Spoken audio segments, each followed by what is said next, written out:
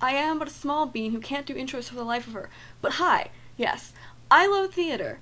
And so here are some roles from plays this time that I would love to be cast as at some point.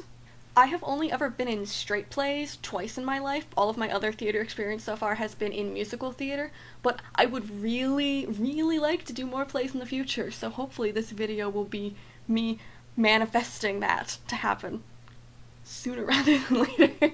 None of these are ranked except for the last two being my top dream roles, but I did try and kind of categorize the rest of the roles a bit. And those categories are classic books that were turned into plays and then also one actually classic play, and then Shakespeare roles, and then roles from plays I haven't actually read yet but really want to because they sound really interesting. and like I said at the very end is my top two dream roles. So let's get into it. I hope you enjoy hearing me talk about theater for a bit, even though it'll be quite chaotic.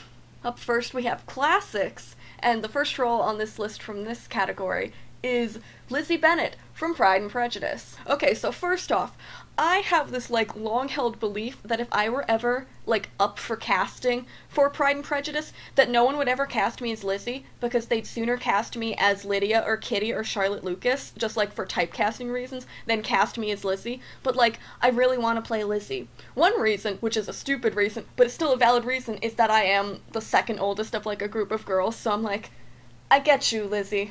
We're kind of on the same wavelength. But on a more applicable reason, which is also a stupid reason, but I think it's more valid, is I want to sass Mr. Darcy while doing a fun Regency dance with him. Because, like, who wouldn't want to do that? You know? I honestly just love the comedy and satire that Jane Austen has going on during Pride and Prejudice, so to be able to be within that in a play would be really fun to mess around with. Next is someone who I've actually talked about before in my musical theater dream roles videos, and that is Jo March from Little Women. Like I've said before, my life and Jo March's life are pretty freakishly similar at some points, but like they really are, because even like my relationships with my siblings and like my specific siblings mirror her relationships with her specific siblings, and so like we're basically the same person, and I'm basically Jo March reincarnated as an actual person. I know this story so well that I've burned like a bunch of the lines and even certain full scenes into my brain. So honestly, I probably have more lines memorized of this show than like any other show that I would get cast in. So like memorizing lines would be a breeze this time. So like cast me to not have to worry about me memorizing my lines because I already inherently know them and have said them in my sleep for years. I really hope I do get cast as Jo March someday because I know that playing her will differ very much so from any other character I'll get cast as because of my like intimate knowledge of her and her story and how I'm so similar to her that like I really would like to have that experience of getting to play her under my belt and stuff compared to any of the other roles that I'll have in the future where it's like yeah that's fun and all, and it'll like be a specific meaningful experience, but like playing Jo March will be so different, like miles different from any of those experiences. So I really hope, fingers crossed, that I get cast as her someday.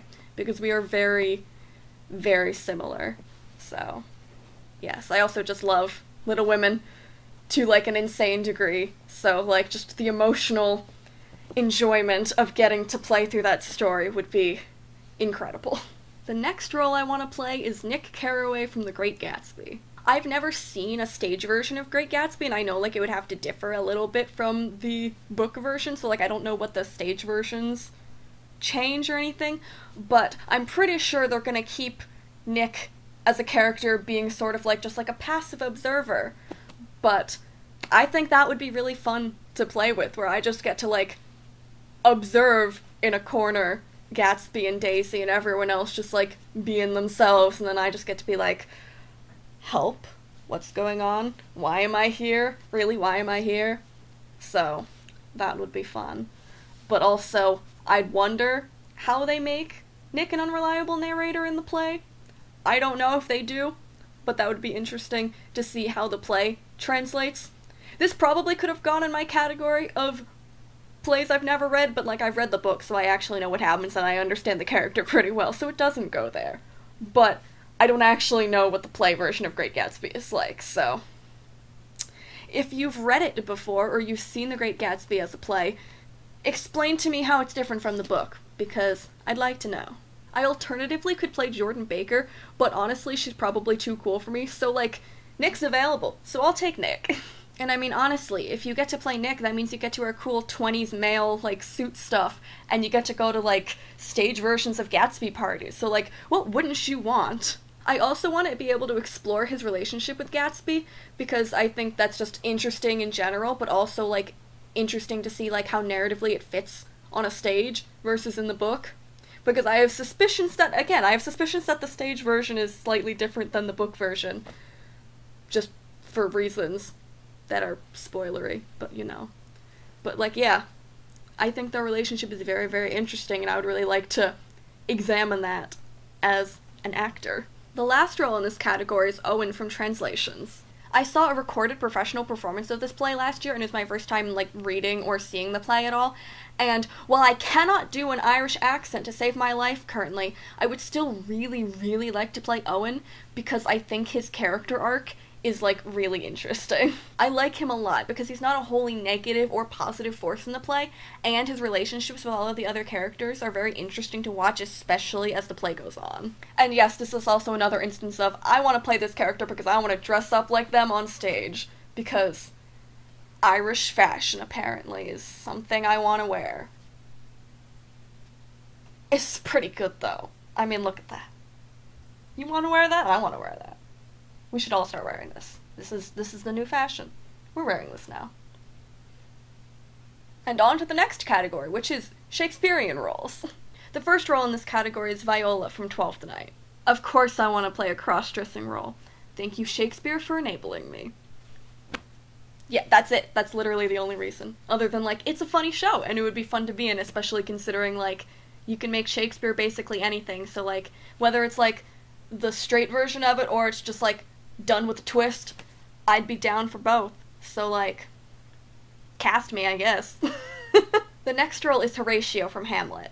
He is just a good friend side character, and I would love to play him because he's a soft boy who cares a lot. He is important in the show, but in a way that is strictly as a lesser slash supporting character, which is honestly something the other characters in this video and the characters in like all of my other dream roles videos are not. I like my leading ladies and my leading men, what can I say? And the last role in this category is Hamlet from Hamlet. I don't think I would do a good job playing Hamlet, but like, wouldn't it be great to get to play him? Like, you get to be tricky and dramatic. And honestly, that's like a blast to get to play with. the first time I actually saw a production of Hamlet done, they didn't have one Hamlet, they had five Hamlets. So, like, now my mind has been opened to all of the interpretations of Hamlet that are out there.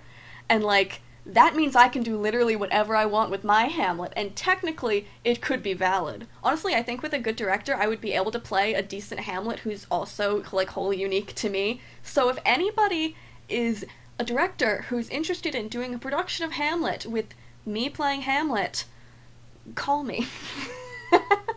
but also, oof, that's a lot of lines to memorize, so maybe don't. and the last real category is shows I don't actually know very well. I just heard about them and they sound kind of interesting. I would like to play any of the girls in The Wolves. It's about indoor soccer girls team warm ups, and the last time I played soccer, it was outdoors, and I was 12, so I honestly don't know how well this would go, but I still want to be in the show. From what I can tell of my very limited knowledge of this show, it deals with like an ensemble cast that gets to have subtle character dynamics over the course of the show, and like that's so much fun to play with and get to work with. So like cast me. Basically, what me wanting to do this show boils down to is I've never done an ensemble piece before, and I really, really want to, and I think this would be a fun one to do. So. The next play I've never read is Kodachrome, in which I think I would either want to play Suzanne or the librarian, but again, I've never read it, so I don't really know anything about these characters. But only time will tell. But honestly, I read a monologue online that I found that was given by one of those two characters, I believe. And I really liked it. And then I looked into the play and I was like, that seems like a cool play because it's about like love and nostalgia and saying goodbye and stuff and like a small town. So, like, think like our town in almost Maine, but like not. I think it sounds pretty cool from what I found online, and I think it would be a fun play to be in. I just feel like this is a show that would make me cry, and like I want to be in a show like that because like if I gotta cry, then you gotta cry too. So like I'm gonna force you to cry, and then I'm just gonna stare at you from my stage perch and be like, hello, I did this to you. Thank me. The next play on this list is actually another play by the person who wrote Kodachrome, and it's called Marian or The True Tale of Robin Hood. And I would like to play Marian slash Robin Hood, or honestly anybody else in this show, but like Marian slash Robin Hood. That's that's the girl for me. This show was designed to feed into my need to play guy roles, so like why would I not want to be in this show? I've never read it before again. Like I don't know what actually like the script looks like, so I might start reading it one day and be like, "Oh no, this isn't for me." But like everything I know about it points towards this play was made for me. So fingers crossed it actually turns out to like meet my expectations of it. also like when you're given the chance to play female Robin Hood, you take the chance and play female Robin Hood. I mean, who wouldn't? The last role in this category is Eurydice from Eurydice. All I gotta say is I love Greek mythology and I love retellings, and like I really don't know how this play deals with that, but I'm sure that Eurydice is a role that I would love to play. Finally, we're in the last category, and that is my actual top two dream roles. The first of which being Inez from No Exit, which is my favorite play of like all time. I learned about this play when I had to read it in class for my junior English class, and I fell in love with the role of Inez. So, like, ever since then, I've been dying to play her.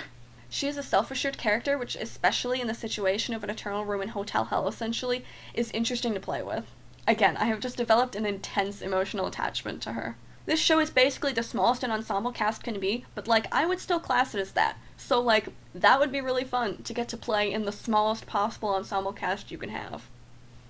Three people. Because if it's two people, that's not an ensemble cast. Her backstory is very interesting, and I think that analyzing how it would affect how she is in present day slash death would be very fun.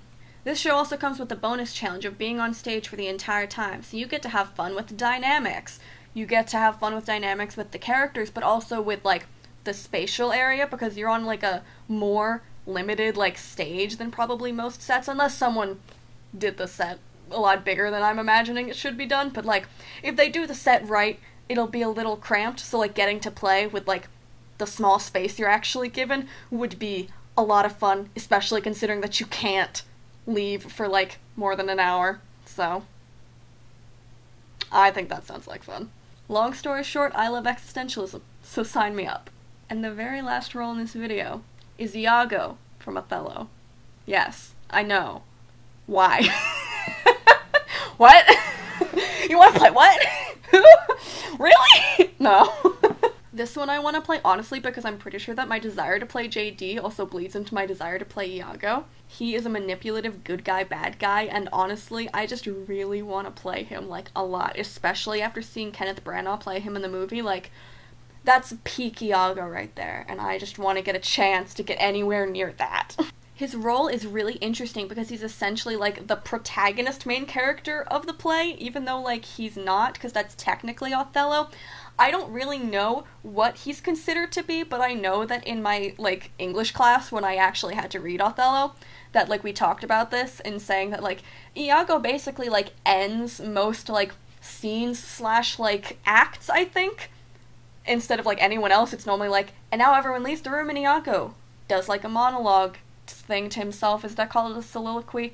I haven't studied enough Shakespeare to remember these things. But like basically, Iago talks a whole lot in this show and I want to play him because he's super cool. He's not. He's like a horrible person. this is again the problem with talking about Iago or JD. They're both like, they're great people to play. They're not great people to be as a real person. I hope I make this distinction clear enough. I don't want to be Iago or JD, I just want to play them. Don't worry, I'm not gonna go around doing any of the horrible things that either of those people do. so yeah, that's all of my play dream roles. I'm aware that it was a mess, but I hope you enjoyed some part of the video anyway. I would be really interested to see your play dream roles, so if you have any, please put them in the comments, and if you've read any of the plays that I haven't read, I would really love to hear your thoughts on those.